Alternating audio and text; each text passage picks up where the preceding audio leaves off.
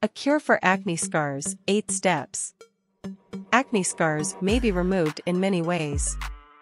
During adolescence, when the body is actively producing hormones that generate too much sebum in the skin, acne begins to form.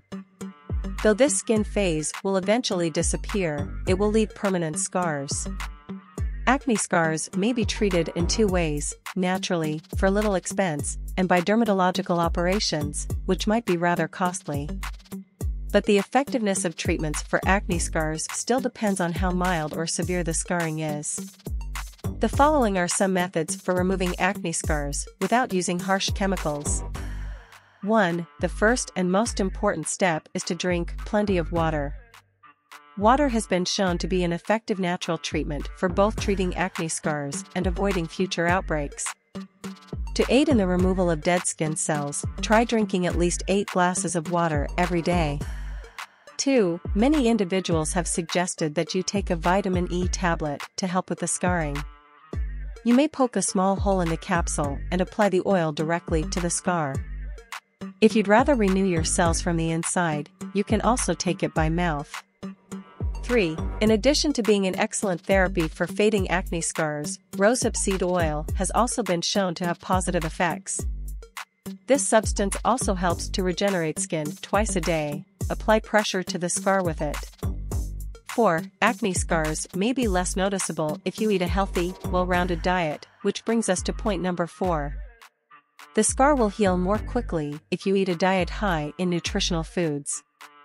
It aids in cell regeneration and imparts a radiant appearance to the skin. 5. Use a mixture of rose water and sandalwood paste and apply it to the scars. Keep it there throughout the night and then wash it with cold water in the morning.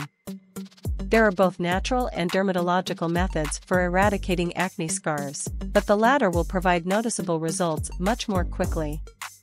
On the other hand, you may not be interested in these operations if you are pregnant or have another health problem. Check out these state-of-the-art techniques for eradicating acne scars for good. 6. Dermabrasion is now performed not just by dermatologists but also by face salons.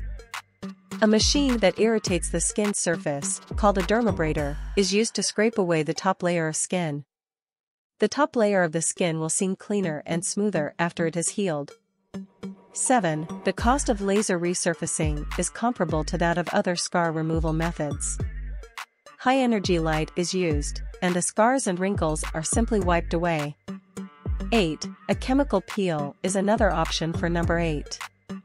Something like dermabrasion, but with this. There is one key distinction, however, chemical peels are used to remove the outer layer of skin rather than mechanical ones. Due to the potential for adverse reactions to the chemicals used, this is not a technique I would recommend for everyone. There's no reason your acne scar should still be visible in light of the many options for treating it. If you want to get rid of acne scars, you may do it naturally or have dermatological surgery done.